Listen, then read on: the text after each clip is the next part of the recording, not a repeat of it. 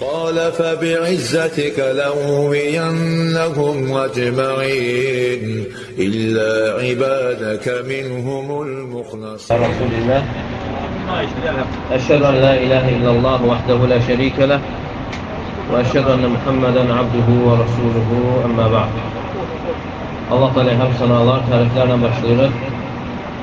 Biz Rəbbimizi haqqı ilə lazımınca, layiqincə tərifləyə bilmərik. Allah Teala öz-özünü təriflədiyi kimi.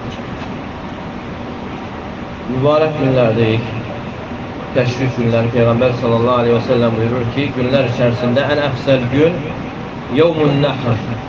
Qurban günüdür, sonra isə Yevmul Qar. Sonraki gün qar, yəni qərar tutma günüdür. Və digər hədisində buyurur ki, Əyyəmu təşriq ايام اكل وشرب وذكر لله تعالى Teşrik günleri yemek, içmek ve Allah'ı zikretmek günleridir. Ve hemçinin başka bir hadisinde buyurur ki tavaf, səy və ramyül cimar, daş atmaq liqaməti zikrillah Allahın zikrini ayaqda saxlamaq üçün. Yəni, ibadətlərdən, ibadətlərin buyurulmasından əsas nəzərdə tutulan, yəni Allah Teala'nı zikr etməkdir. Və zikrin də əfsəl forması dillə qəlbin bir yerdə olmasıdır. Var dillə olunan zikir, var qəlbən, bir də var hər ikisi birlikdə. Yəni, dilin dediyini qəlb anlamasıdır. Bu, onun ən əfsəl forması sayılır. Əgər insan dili ilə zikr edib, e, qəlbi ilə anlamazsa, yəni qəlb, qəlb qəflətdə olarsa, yəni o zikrin insana bir o qədər faydası olmur, yəni böyük faydası olmur. Allah Teala Quranda Kəhf surəsində buyurur ki: "Və la tuti' men aghfalna qalbahu an zikrina vettaba'a hawahu və kana amruhu furuta." Qəlbini zikrimizdən qafil etdiyimiz, nəfsi istəyinə uyan və bütün işləri zayi ve semeresiz olan kimseye itaat etme. Bu ayet esasen alimler buyurur ki eğer insan vaktında ömründe yakına geldi eğer insan vaktında ömründe ve emellerinde bir bərəkət hiss eləmirsə, bir irəliləyiş hiss eləmirsə, ə, bilsin ki, bu ayə ona aid olmuş ola bilir. وَلَا تُطِعْ مَنْ أَغْفَلْنَا قَلْبَهُ عَنْ ذِكْرِنَا Qəlbini bizim zikrimizdən qafil etdiyimiz, yəni dillə insan edib, Amma qəlb isə yəni qafildir. Qəlb qafildir, qəflətdədir. Başqa yerdədir, dünyada dolaşır. Yəni belə zikrin insana o təsiri olmur. Və hətta işlərin bu ayənin axırına görə işlərin zay və səmərəsiz olması və işlərin üzərində o nəticənin olmaması zikrin qəflət içərisində olmasına görədir. Yəni, dinlə deyil, qəlb isə qəflətdədir. Hə, ona görə zikir uca əməllərdən sayılır, lakin bu məsələyə də gərək diqqət ə, yetirilsin. Hətta bir sahabə Peyğəmbər sallallahu aleyhi və səlləmə deyir ki, yəni mənə elə bir əməl yəni öyrət ki, ondan möhkəm yapışım və buyurur ki, dilin Allahı zikr etməklə islah qalsın. Dilin Allahı zikr etməklə islah qalsın. Deməli, zikr uca əməllərdən, uca ibadətlərdən sayılır Və İbn-i Qayyim Rahiməhullah buyurur ki, qiyamət günü insanların ən böyük həsrəti, peşmançılığı zikrə görə olacaqdır. Yəni zikri, Allahın zikrini tərk etdiklərinə görə. Hansı ki, yüngül olub, asan olub, savabı böyük olduğuna görə peşmançılıq da böyük olacaqdır. Yəni, asan əməllərdən olub, böyük savabı olan bir əməl olduğuna görə və onu da yerinə yetirmədiklərinə görə peşmançılıq böyük olacaqdır. Və bu günlər də zikir günləridir. Və xüsusən də təkbirlərin olunması. Oturduğu yerdə ə, və minanın özündə, çadırda və gəlir ki, onlar ə, yəni elə bir ki, çadırlar dalğalanardı. Yəni təkbirlərin səsindən, təkbirlərin səsindən. Yəni həqiqətən insan təkbirləri gətirdiyi zaman mənasını anlayaraq elə bil ki, hər şey insanın gö gözündə balacalaşır. Yəni insan təkbir gətirməklə Allaha təzim edir. Yəni təkbir nə deməkdir? Təzim deməkdir. Təkbir təzim. Yəni insan Allahı təzim edir, ucaldır və deyir ki, Allahu Əkbar. Allah hər şeydən böyükdür.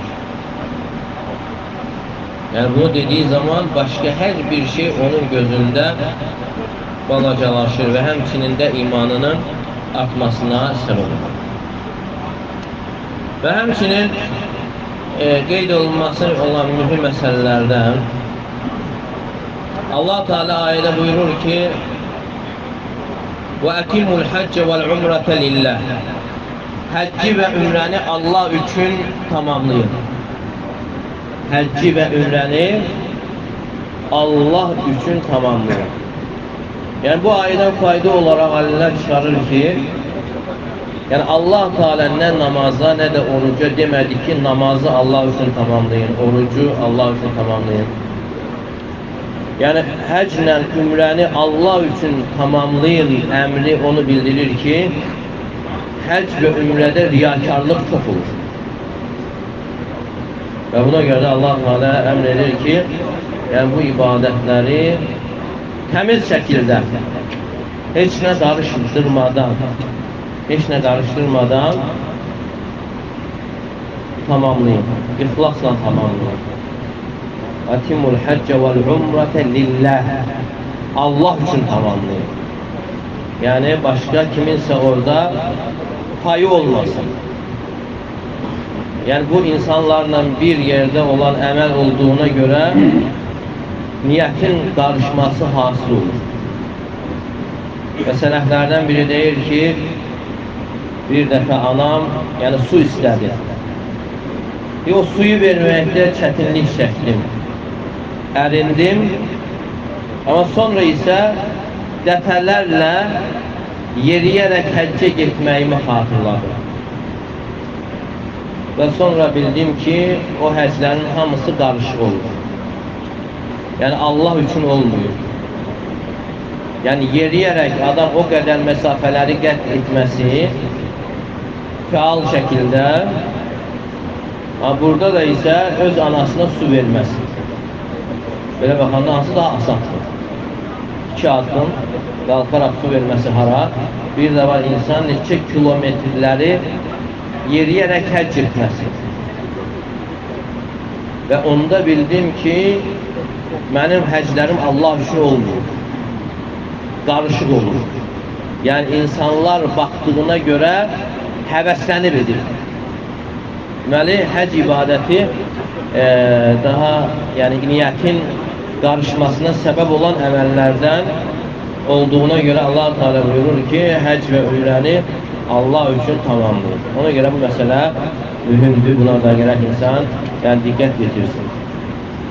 Və həmçinin məsələlərdən biri də olur ki, ibadətləri istiğfarla bitirmək. Allah Teala buyurur: "Summa afidu min haythu afada an-nasu vestağfirullah." Sonra insanların döndüyü yerdən siz də dönün və Allahdan bağışlanma diləyin. Allahdan bağışlanma dilin istiğfar edin. Yəni bu da onu bildirir ki, şərəfli ibadətlər şərəfli ibadətlər istiğfarla bitir. Şərəfli əməllər istiğfarla tamamlanır. Fərz namazlarından sonra nə buyurulur? İstiğfar buyurulur. Və həmçinin Quran oxuduqdan sonra məclisdən qalxarkən istiğfar buyurulur. Və həmçinin gecə namazından sonra istiğfar buyurulur. Allah Teala buyurur: "Vel müstəğfirin bil ashab." Səhər vaxtı istiğfar edənlər. Və başqa ayədə buyurur: "Kanu qalilan minel-leyli ma yehca'un və bil ashari hum yestəğfirun." Və onlar gecənin az bir hissəsini yatardılar və səhər vaxtı, yəni sahur vaxtı gecənin axırında istiğfar edərdilər. Yəni bu da onu bildirir ki, insan ibadətləri istiğfarla tamamlamalıdır. Həmçinin Peyğəmbər sallallahu aleyhi və səlləmin həyatının sonunun da istiğfarla tamamlanması onun vəfatının yaxınlaşmasına dəlalət edir. Hansı surət kim deyər? Nasr surəsi. İzə cəə nəsrullahi vəl-fəth ورأيت الناس يدخلون في دين الله أفواجا فسبح بحمد ربك واستغفره إنه كان توابا İzə cəə nəsrullah, Allahın yardımı və zəfər gəldiyi zaman və raitən nəs insanların dəstə-dəstə dinə girdiyini gördüyün zaman Fesebbih bihamdi rabbike Rabbini hamd ile tesbih et, tekdis et. İkisi birlikte Subhanallahi ve bihamdi Subhaneke Allahümme ve bihamdik ve estağfirhu ve istiğfar et. İstiğfar et yani bağışlanma dile. Ve Ömer radıyallahu anh soruşanda e, bu ayenin sebebi olarak emme sebebi kimi ve her sahabe bir şeydir. Yani İbn Abbas radıyallahu anh diyor ki bu peygamber sallallahu aleyhi ve sellemin ölümünü haber verir. Vefatının yaxınlaşmasını xəbər verir. Çünki Peyğəmbər sallallahu aleyhi və səlləmin ömrü xeyirlə, ibadətlə, itaətlə dolu olan bir ömrün istiğfarla, istiğfar gəlməsi artıq o ömrün e, ibadətlə, itaətlə olan bir ömrün tamamlanmasına artıq işarət. Deməli, o bildirir ki, ibadətlər, şərəfli əməllər, şərəfli ömür istiğfarla tamamlanır. Bu da ona görədir ki, bu da ona görədir ki, insanın istiğfar etməsində olan hikmət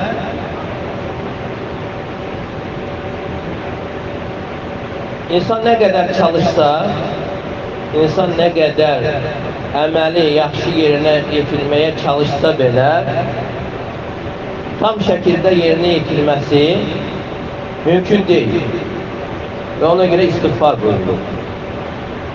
Və ikinci tərəfdən isə istiğfar etməsi insandan ucbu dəf etməsi üçün. İstiğfar nəyi dəf edir? Ucbu. Yəni ola bilər ki, insan əməl yerinə yetirib, insanda özündən razılıq hasıl olur. Özündən razılıq və istiğfar etməsi isə bunu dəf edir. Özündən razılıq hisslərini e, uzaqlaşdırır. Çünki mömin insanın halı belədir. Allah Teala Müminun suresinde buyurur ki: "Vellezine yu'tununa ma atau ve kulubuhum vecile." O kesler ki emel eder ve kalpleri korku içerisinde olan ve Aşır radıyallahu anh'a bu aya hakkında Peygamber sallallahu aleyhi ve selleme sual verir ki yani onlar neye göre korkarlar? İçki içtiklerine göre, oğulun ettiklerine göre, zina ettiklerine göre mi? Deyir ki, hayır ettikliğinizdir. Yəni onlar o kəslərdir ki, onlar namaz qılır, oruç tutur, sədəqə verir və bununla yanaşı əməlin qəbul olunmamasından qorxurlar. Deməli, müminin halı belədir.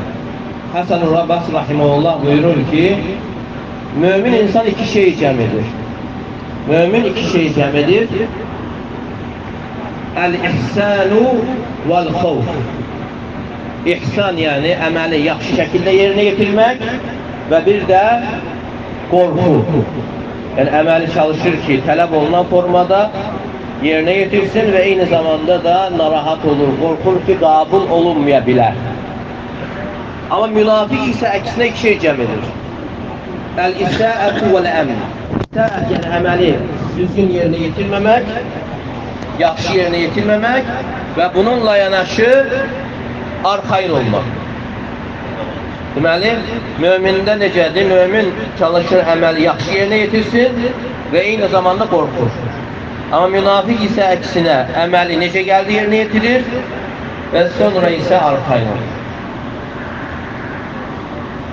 Və bir ilahi hədisdə Allah Teala buyurur ki, və izzəti və cəlali.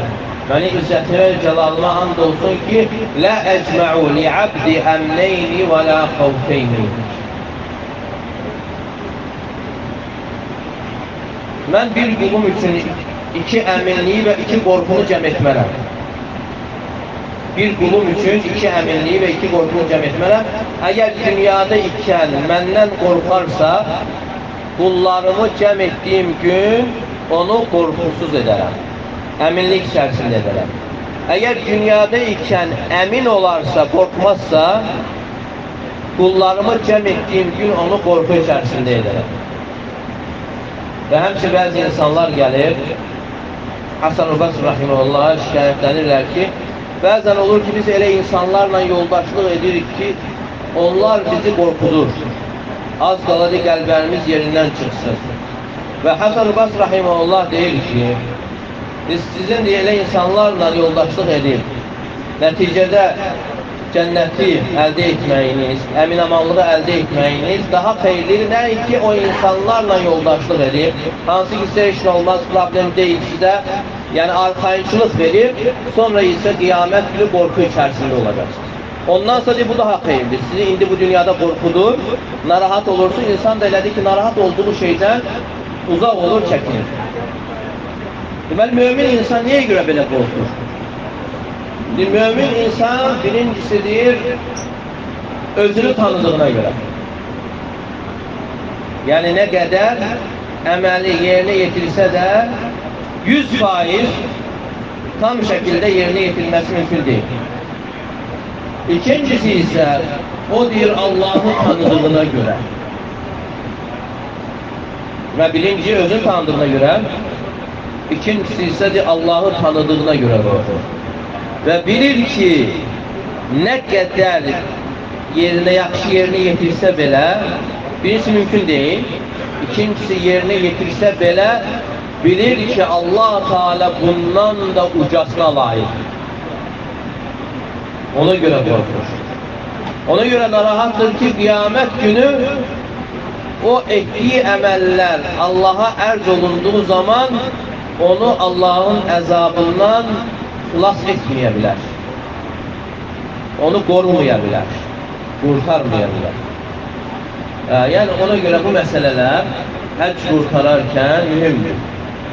Yəni insan daha düşünməsin ki, artıq həcc edibsə hər şey tamamdır, ə, problemsizdir. Əksinə insan ə, müminlər ibadətləri artırdıqca, Allah Teala yaxınlaşdıqca, yəni qorxu, narahatçılıq daha da artan bir şeydir. Ama ne vakit insanda cahillik artır, səhləkarlıq artır, onda görsən insanda arxayçıl var. Ve bu da onu bildirir ki, yani mümin çalışmalı əməlləri yerine yetirsin ve aynı zamanda da yani arxayın olmasın. Hansı ki o cür sahabeler, cennetle müjdelenen insanlar görürsen ki onlardan ne sözler gelir. Ali radıyallahu anh deyir ki, لَوْ عَلِمْتُ اَنَّ اللّٰهَ قَبِلَ مِنِّي məndən bir əməlimi qəbul etdiyini bilsəydi, ləttəkətü aleyhə və ona arxayınlaşardı. Çünki Allah Teala buyuruyor, İnnəmə yətəqabbəlullahu minəl müttəqin. Allah Teala müttəqilərdən qəbul edir. Və ona görə həcdən sonra bu əməli yerinə yetirdikdən sonra yəni insan daha da qorxması, narahat olması Çünki insan daha irəli getdikcə, əməlləri doğrultduqca şeytanın da hücumu, hücumu daha da artacaq. Yəni şeytan başqa insanlara nisbətdə elm öyrənənlərə və həmçinin ibadət əhlinə daha çox hücum edir ki, onun ibadətlərini zayi etsin və əməllərini Allah üçün olmasın və insanda üçün özündən razılıq kimi hisslər ə, yaransın və bununla da artıq bu qədər əməli etdiyi əməl zay olsun, ondan bir fayda əldə etməsin. Və həmçinin məsələlərdən biri də odur ki, əməllərin qabul olma əlamətləri Yəni, alimlər gətirir ki, əməl qabul olma əlamətlərindən biri də odur ki, insanın bir əməldən, ibadətdən sonra daha yaxşıya doğru yönəlməsi. Yəni, o ibadətdən sonra əvvəlki günahına qayıtmaması. Məsələn, sigaret çəkirdisə, artıq sigaretə qayıtmır. Və yaxud insan özünü yaxşı tanıyır, hansı günahları var idisə, həcdən sonra ona qayıtmaması, deməli, bu yaxşı əlamət sayılır. Yəni, qəbul olmağın əlaməti kimi götürmək olur. Ya, bununla yanaşı, insan özü də eyni zamanda o əlamətin gerçəkləşməsi üçün də çalışmalıdır. Yəni, o əlamət özü özlüyündə olmalı yox. Yəni, hətta məsələn, ola bilər ki, əməldən sonra daha çox vəsvəsələr gəlsin, sigaret üçün və yaxud da digər əməllər üçün. Yəni, insan nəfsinə qarşı vuruşaraq Yəni o əlaməti qorumağa çalışmalıdır. Və əlamətin qorunması əvvəlki günahlara qayıtılmaz. Misal, sigaret gətirir, amma insan özü bilir, ləkin günahları var. Və həmçinin əlamətlərdən biri də odur ki, insanın ibadətdən sonra, xüsusən də belə böyük ibadətdən sonra ahirətə rəğbətinin artaraq dünyaya rəğbətinin azalmasıdır. Əgər insan bundan sonra daha çox, yəni ahirətə rəğbəti artırsa, ahirət üçün çalışmağa səy göstərirsə və dünyaya bağlılığı azalırsa, demə bu da bir yaxşı əlamətdir. Və həccin qəbul olma, yəni 100% deyilmir, sadəcə bunu əlamət kimi gətirirlər. Və ona görə bunları, yəni həcc ə, ibadətindən sonra bunları yerinə yetirmək və qorumağa çalışmaq. Çünki insan əziyyət çəkir və çoxlu da pul xərcləyir ki, bu cür böyük əməli İslamın dayaqlarından birini yerinə yetirsin və bundan sonra da onu asanlıqla e, yəni zay etməsin. Yəni Allah Teala Nəhl surəsində buyurur ki: "Və la takunu kəllati naqadat ghazlaha min ba'di quwwatin ankatha." Deyir, siz deyir, o qadın kimi olmayın ki, ipliyini əziyyətlə ördükdən sonra toxuduqdan sonra asanlıqla sökən qadın kimi olmayın. E, başqa təfsirdə var, təfsirlərdən birini belə gətirirlər ki, alimlər. Yəni, bir dənə xalçanın toxunması üçün deyir, 3-4 ay çəkir. Əllə toxunanda 3-4 ay çəkir. Amma onun sökülməsi isə ipin, bir ipin belə dartmaqla, asanlıqla sökülür. Yəni, Allah Teala'nın burada deməsi ki, o qadın kimi olmayın ki, ipliğini o əziyyətlə, çətinliklə e, hördükdən sonra, toxuduqdan sonra asanlıqla sökən qadın kimi olmayan, yəni bu ibadətləri yerinə yetirdikdən sonra günahlara qayıtmır. Elə ki, insan həc ibadəti və ya digər əzəmətli ibadətləri yerinə yetirdikdən sonra əvvəlki günahlara qayıtması bir növ qavuşur. Yəni o əmələ artıq xələl gətirir. Nabislik gətirir. Və buna görə də bunu yəni, insan gözünün qarşısına tutmalı. Hər dəfə vəsvəsələr gəldiyi zaman gərək onu dəf eləsin. Onu özündən uzaqlaşdırsın. Və insan da belədir ki, çalışarsa və çalışmağında sadiq olarsa, Allah Teala müvəffəq edir. Allah Teala qoruyur. İbn-i Teymi Rahimullah buyurur ki, insan bütövlüğüyle her şeyden yüz çevirerek bütövlüğüyle Allah Teala tərəfə yönələrsə, mümkün deyil ki, Allah Teala onu qəbul etməsin. Demək, əgər bu alınmırsa, insan bir öz səyini, öz çalışmasını ittiham eləsin. Çünki Allah Teala şəkur. Həmçinin başqa yerdə deyir ki, əgər insan etdiyi ibadətində ləzzət ala bilmirsə, ibadətin şirinliyini tapa bilmirsə, öz əməlini ittiham və innə Rabbə şəkur. Çünki Allah Teala şəkurdur. Yəni insanın etdiyi əməli mükafatsız qoymur. Onu mütləq şəkildə mükafatlandırır. Deməli, əgər insan ibadətində o şirinliyi tapa bilmirsənsə, bil ki, əməlin. Əməlin qarışıqlığına görə insan gərək ə, düzgün şəkildə əməlləri, ibadəti rəğbətlə, sevərək, könül xoşluğu ilə yəni yerinə yetirməyə çalışmalıdır. Könül xoşluğu ilə insan ibadəti yerinə yetirəndə ibadət asanlaşır, ibadət çətin olmur, insan yəni müvəffəq olur. Niyə görə çətinləşir? İnsan ibadətləri, o günləri, o əməlləri gözünün qarşısına gətirəndə çətinləşir. Amma bir də deyir ki, burada ağır bir şey yoxdur. Və xüsusən Allah üçün olan bir şeydə, yəni ağırlıq yoxdur və görürsən ki, həqiqətən də o əməl asanlaşır. Deməli, rəğbətlə, e, könül xoşluğu ilə sevərək olunan ibadət olur. Asanlıq Peyğəmbər sallallahu aleyhi və səlləm namaz haqqında nə deyir ki, Cü'ilət qurratu ayni fis-salah. Mənim göz bəbəyim, sevincim namazda idi. Ve Bilal radıyallahu anh diyor ki Elifne bis salat ya Bilal Ey Bilal bizi namazla rahatlandır. Yani ikame ver ki namaza girer, namazda rahatlığımızı tapar. Yani Peygamber sallallahu aleyhi ve sellem ve sahabeler rahatlığı harda tapırdılar, namazda tapırdılar. Namaza girdikleri zaman namazdan çıkmak istemirdiler. Yani bizim eksimiz olarak. E biz ise değil namaza girende elə bil ki, qəfəsdəyik, çırpınıdır.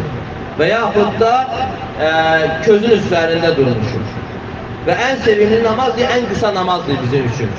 Nə vaxt namaz uzanır, onda insana deyil, ağır. Çünki nəyə görə? E, namaz deyil, bizim e, göz bəbəyimizə, sevincimizə, göz aydınlığımıza nədir? E, çevrilmir. Amma nə vaxt ki, çevrilərsə, yəni insan deyil, elə ləzzət alır ki, ondan çıxmaq, onu tərk eləmək istəmir. Tam misal olaraq bəzən görsən insan, yəni sevdiyi bir kimsədir, Onunla oturur, saatlarla danışır, saatlar geçir. Nece geçtiğini bilmiyor. Hele bir ki ona ile geldi 10 dakika geçir. Bakmayan belki 3 saat, 5 saat, 10 saat geçir. Ama bazen de insan sevmediği bir kimseyle oturur, 5 dakika ona hele bir ki 5 saatin geldi. Köksü daralır, sinesi daralır. Niye? niye? Deməli, insanla vaxtı ibadəti, e, Rəbbini, Rəbbinə olan ibadəti sevərək yerinə yetirdiyi zaman onda insan rahatlıq tapır, sevinç tapır və o ibadət insana yüngül gəlir, asan gəlir, ağır gəlmir. Həmçin başqa bir hədisdə Peyğəmbər sallallahu aleyhi və səlləm visal orucunu qadağan edir. Visal orucu bilirsiniz iftar etmədən orucu birləşdirmək. Visal orucu iftar etmədən ə, birləşdirmək, bir gün, iki gün, üç gün belə tutmaq. Ona görə Peyğəmbər s.ə.v deyir ki, mən aradə ən yuvasilə fəl yuvasil ilə səhər. Yəni, kim visal orucunu tutmaq istəyirsə, sahurdan sahura qədər tutsun. Yəni, iftar etmədən bir sahurdan o bir sahura qədər. Yəni, sahur da etmədən belə bir gün, iki gün, üç gün birləşdirməsin. Və İbn Ömər radiyallahu anh deyir ki, Ya Rasulallah, sən özün tutursan, amma bizə isə deyir, qadağan edirsən. Bu necə olur da? Və onda Peyğəmbər sallallahu aleyhi və səlləm buyurur ki, İnni ləstu heyətikum. Mən sizin heyətinizdə, formanızda deyiləm, deyir. İnni əbitu yud'imuni Rabbi və yəsqin. Mən deyir, gecəliyir, Rəbbim məni yedirir və içirir. Burada yedirir və içirir nədir? Hissidir yoxsa mənəvi? Mən, əgər hissi olsaydı, vüsal olmazdı ki mənəvidir. Yəni deyir ki, mən yəni bundan deyir, elə bir ləzzət alıram ki, o ləzzət nəyin əvəzini verir? Yeməklə içməyin əvəzini verir. Yəni bu da onu bildirir ki, görürsən həqiqətən insan nə qədər ağır əməl olmasına baxmayaraq, yəni o əməli ağır görmədən, könül xoşluğu ilə, sevərək addım atarsa görürsən necə asanlaşır. Peyğəmbər sallallahu aleyhi və səlləm gecə namazında deyir ki, 6 saat ayaqda durur. altı saat. Ayaklar şiir. Yani bu elebele olmuyor. Elebele olmuyor. Yani e, o sevinç hasıl olduğuna göre e, yani Rabbi ile ünsiyet taktığına göre insan terk etmek istemiyor. Ama bizde ise o olmadığına göre istəyir cəmaatla oturub söhbət eləyək ki, ünsiyyət tapaq. Amma sələflər isə ünsiyyəti e, Rəbbi ilə tapdıqlarına Rəbbi ilə münacatda, danışıqda görərdilər. Məsələn, Qudur Yemin Eyad Rahiməllah deyir ki, Deyir, mən deyir, gün batdığı zaman, mən gün batdığı zaman deyir, sevinirəm. Deyir, insanlar, yəni tə, Rəbbimlə tək qaldığıma görə. Amma gün çıxdığı zaman deyir, kədərlənirəm, deyir, insanlar yanıma gəldiyinə görə. Nəyə görə sevinir? Çünki deyir, Rəbbi ilə ünsiyyəti tapdığına görə. Yəni onun üçün ən sevimli olan Rəbbi ilə onun ünsiyyəti. Elə bir ki, onlar darıxırdılar, kimsə gəlib başlayıb söhbət elədiyi zaman darıxırdılar. İstər tez çıxıb getsin, yenə Rəbbi ilə olan zikirdir, danışıqdır, bunu əldə eləsin. Amma bizdə biz isə deyir, onu deyir, əldə etmədiyimiz üçün e, tək qalan kimi darıxırıb, gedək çayxanaya oturaq, söhbət, ora-bura və bu cür darıxmağımızı aradan qaldırır. Deməli, bizlə onlar arasında yəni fərq yoxdur. Deməli, bu qapı əslində İbn Rəhməllah buyurur ki, bu qapı hamı üçün açıqdır, yəni bağlı deyil. Əgər insan çalışarsa onun üçün, yəni yoxlayarsa, və çalışarsa o da əldə etməsi yəni mümkündür.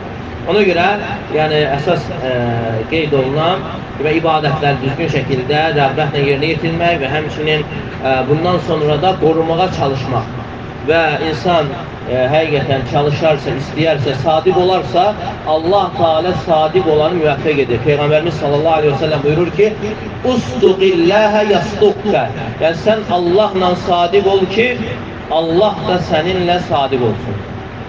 Sən Allahla sadiq ol ki, Allah da səninlə sadiq ol. Deməli, insan həqiqətən Allaha yönəlməsində doğru olarsa, sadiq olarsa, yəni əmin olsun müvəffəq olacaq. Yox, əgər gəlmirsə, o yardım gəlmirsə, bilsin ki, onun addımlarında, səyində problem var. Yəni sadiqliyində problem var.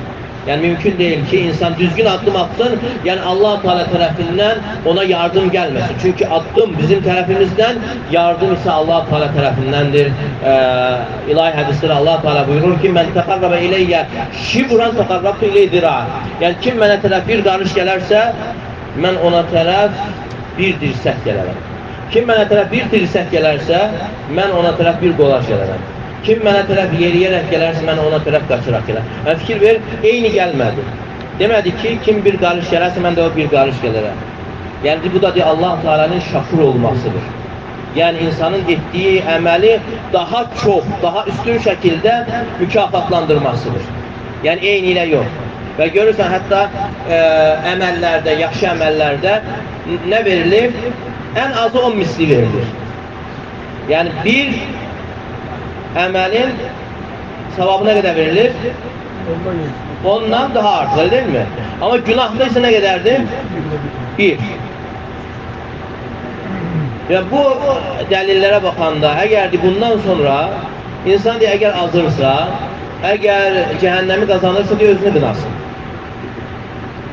Ve alimlerden biri der ki vay halına diyor o insanın ki diyor, onun təklifləri diyor, onluqlarını üstələyər.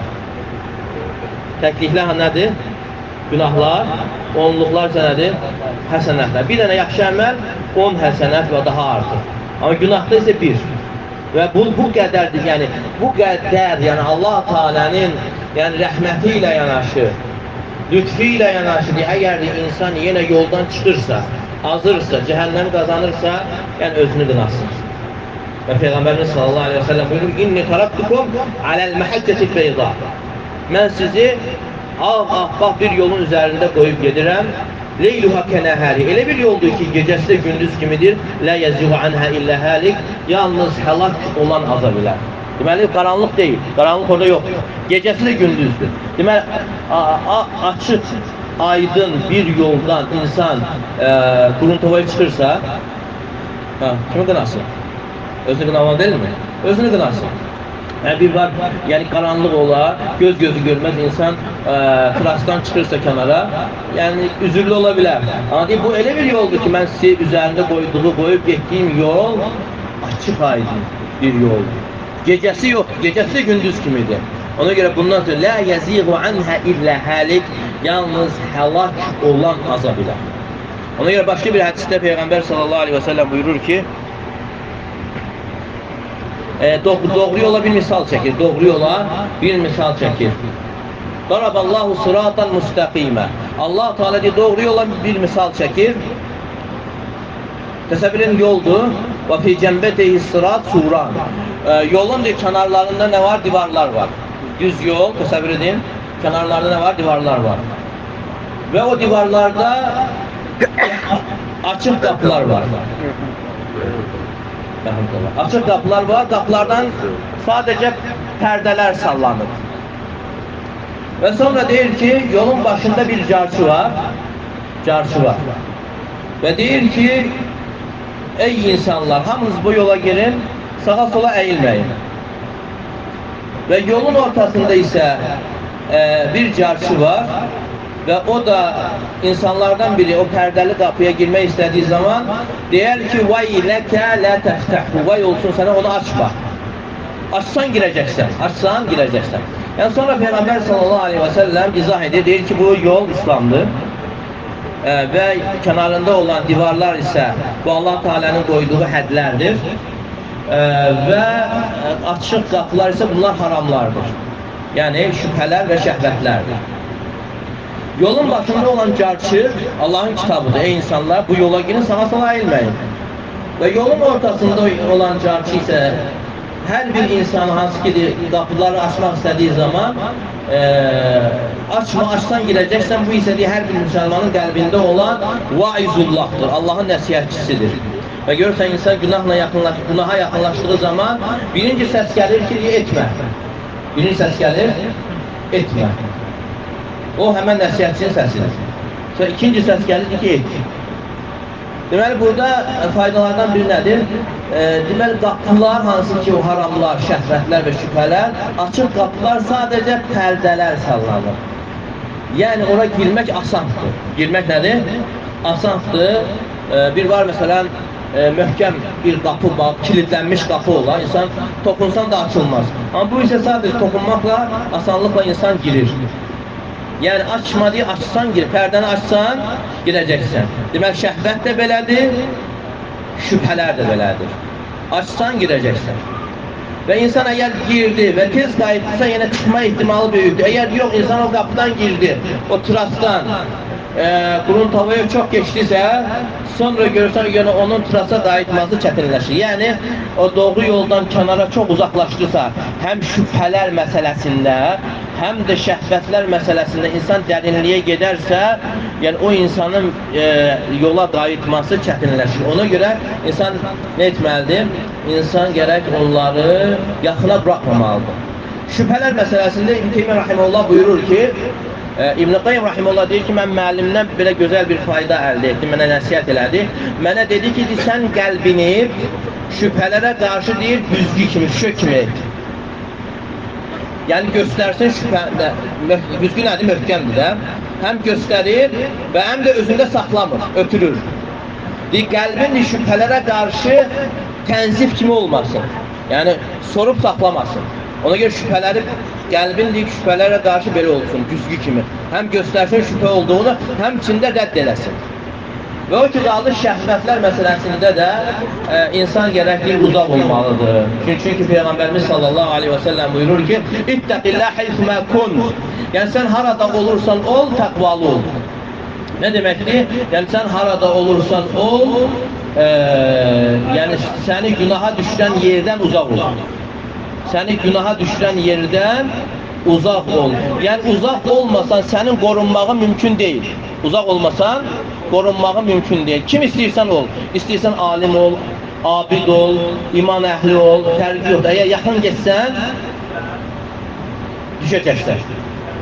Yaxın getsən, düşəcəksən. Ona görə Peyğəmbərimiz sallallahu aleyhi ve sellem buyurur ki, La yaxluvanna raculun bi imratin illə kənə təlzəvmə şeytan. Bir kişi qadınla tək qalarsa, üçüncüsü şeytandır. Təsəvvür elə, sən görmürsən, qadın haram görmürsən, naməhrəm görmürsən, necə rahatçılıqdır, rahatlıqdır, qəlbini rahat görürsən, qoruyursan, gözünü qoruyursan, salamatçılıqdır. Amma nə vaxt ki, bir yerdə qaldınsa, bir otaqda qadınla, naməhrəmlə, üçüncüsü avtomatik şeytandır. İnsan qəlbini qoruması çətinləşir, gözünü qorunması, gülümsəməsini qoruması hamı çətinləşir. Yəni üçüncüsü avtomat nə olur? Yəni şeytan olur. Yəni, bu da böyük tövsiyələrdəndir. Yəni kim düşübsə, yaxın getdiyinə görə düşüb. Kim salamat kalıpsa uzak gittiğine göre salamat kalır. Demek salamatçılık hardadır? Uzak olmaktadır. Mesela fikir vereyim. Ee, büyük tabinlerden biri. Said bin Seyyid rahimahullah. Deyir ki 80 yaşım var. 80 yaşım var. 80 ilin 50 ilini işe namazının dəstəmazı ilə sübhü qılmışam. 50 il işanın dəstəmazı ilə sübhü qılmışam, deyir ki, amma yenə bununla yanaşı qadın fitnəsinə əmin deyiləm. Qadın fitnəsinə əmin deyiləm. Birincisi, insan 80 yaşında ehtiras qalmır və ikincisi, bu insan alim idi, abid idi və deyir, yenə bununla yanaşı deyir ki, qadın fitnəsinə əmin deyiləm və bu qədər də ibadətlər. Yəni, bu da onu bildirir ki, yəni insan heç vaxt arxain olmamalıdır. Kim istəyirsən ol. Əgər sən arxain oldun və dedin, hə, mənim problemim yoxdur, imanım var, elmim var, ə, mən güclüyəm və düşmərəm, elə düşənlər də onlar olublar. Deməli, qorunma yolu nədir? İttəqillə, yəni uzaq ol. Hardan uzaq ol? Səni günaha düşürən yerdən, dostlardan, yoldaşlardan, cihazlardan, cihazlardan, bu da mühüm məsələdir. Cihazlar demək olar ki, bu dövrün əsas imtihanı sayılır. Bu dövrün əsas imtihanı sayılır. Əvvəllər də başqa imtihanlar olub. Məsələn, sahabələrin dövründə Allah Teala buyurur ki, Həcc ayələrində: "Ya eyyuhellezine amenu la yabluwannakumullahu bi şey'in minas-saydi tanaluhu aydikum və rimahukum liya'lemallahu men yakhafu bil gayb." Ey iman gətirənlər, Allah Teala sizi sizin əlinizin və nizələrinizin çatdığı bir ovla imtahana çəkir. Yəni ehramda ikən ov ovlaya bilməzlər. Kimsə ovu hürkütsə belə yenə ovlaya bilməzlər. Deməli, bu da onu bildirir ki, bu bir imtihandır. Nəyə görə liya'lem Allah men yaxafu bil gayb? Allah Teala istəyir ki, kim təklikdə ondan qorxur. Gizlində ondan qorxduğunu bilmək istəyir. Demək, həqiqi iman nə vaxt ortaya çıxır? Gizlində ortaya çıxır. Cəmaat arasında maşallah hamısı mömin, salih, rəndə ola bilər. Amma insanın imanı nə vaxt ortaya çıxır? Qapılar bağlanıb tək qaldığı zaman. Değil mi? Asıl iman onda ortaya çıkır. Ve onda insan değil, e, özünü Allah'ın nezaretinde hissedip ve e, karşısına o YouTube'da başka başka yerlerdense geldiği zaman özünü koruyabilir mi? Ve budur mesele. Ve ona göre alimler buyur ki bizim yani bu dövrdeki esas imtihan bu cihazlardır. Onlar odla imtihanı çəkilmişlər. Yəni bu dövrün əsas imtihanı bu cihaz. Əvvəllər görsən ki, 20-30 il əvvəl insan nəyəsə baxmaq üçün nə qədər məsafələr qət edir, ora-bura gedirdilər. Yox idi, kasetlərlə ha. Amma indi isə hər kəsin öz qabağında. Öz qabağında bir düyməni basmaqla hər şey qarşısına gəlir. Deməli, imtihan burada ortaya çıxır və hətta imtihanın da, yəni günahların, alimlər buyur, günahların asanlaşması insanın yoxlanması üçündür. İmanının yoxlanması üçündür. Və Allah Teala istəyirəm ki, Allah Teala əlimizi qorusun günahlardan, günahların zərərlərindən və hər birimizə qəbul həcc, qəbul olunan həcc nəsib etsin və bundan sonra da həcci qorumağa müvəffəq eləsin. Allah razı olsun. Sallallahu aleyhi ve sellem.